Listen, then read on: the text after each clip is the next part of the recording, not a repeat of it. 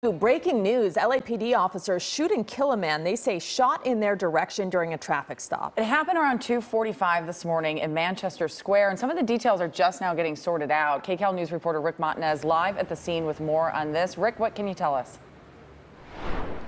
Well, Jamie and Rudabeh, I just talked with the LAPD again, a commander providing a little bit more clarification on what happened. He says the shooting is unrelated to that traffic stop that initially brought the officers out here to this intersection here at Florence and Western Avenues. You can see there is still a very large response by LAPD here because not only is there the investigation into this fatal police shooting, but they also discovered an illegal pot shop here.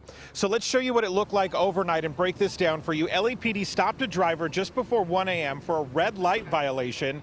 As the three officers worked that traffic stop, they say a man came around the corner to a neighboring parking lot and just began shooting. It appears he may have been shooting into some businesses there. LAPD says two of those three officers opened fire on the shooter, killing him here on the scene.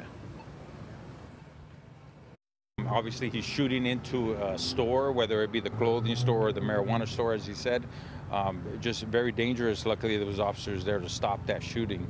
Um, again, we're not sure exactly what or who he was shooting at, um, uh, but uh, very dangerous, and, and uh, we're glad that nobody was hurt.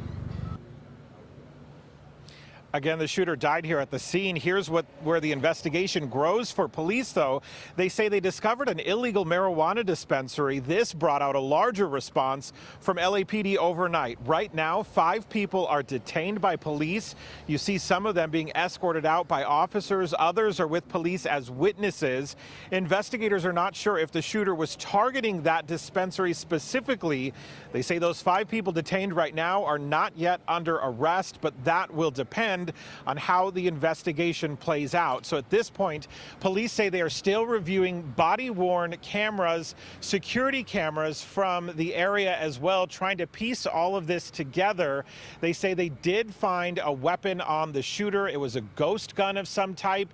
Police say they will release a photo of that later this morning. But the bottom line here, a traffic stop brought officers here. There happened to be a shooting nearby. The officers took down that shooter, killed him here at the scene, and then they discovered that illegal pot shop. So police are trying to sort all of this out this morning.